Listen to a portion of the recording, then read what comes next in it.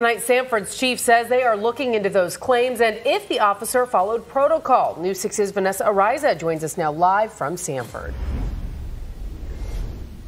The Sanford's police chief, Cecil Smith, just spoke with the media about 20 minutes ago outside of the police department here. He says he wants to make sure that he has all of the facts and information in this case moving forward. Sanford police say they want to be transparent when it comes to excessive force allegations against one of their officers.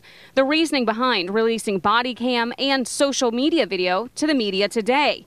Actually, I will tell you is that uh, one of our city employees reached out to me uh, via text on Tuesday evening and said, Chief, why don't you take a look at this and, and you probably want to uh, take steps to address it. The incident in question took place Monday morning around 2 o'clock at the barn in Sanford, a time when the bar should be clearing out. An incident involving Officer Adam Johnson took place.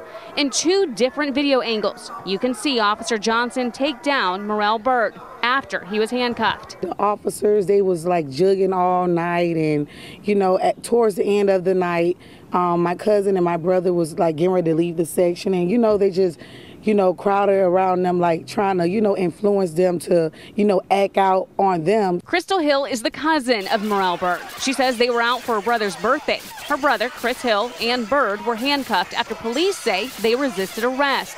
The report says Bird was on a table, tampering with an air conditioning unit. He was asked to get down by police, but instead yelled back expletives. That turned into a scuffle and arrests. Now, the family is looking at legal action, and Officer Johnson has been placed on leave.